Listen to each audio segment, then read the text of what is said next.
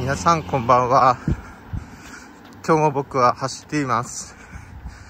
日向坂4612枚目シングル。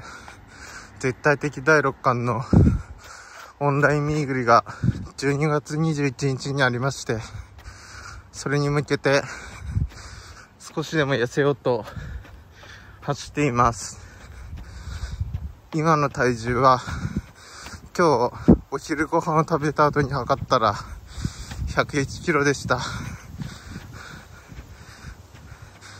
最近は少し日が空いてしまいましてまた頑張って走ろうと思います。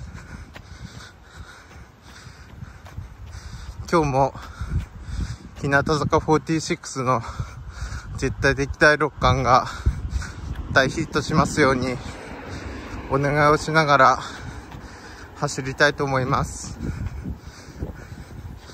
ご視聴いただきありがとうございました。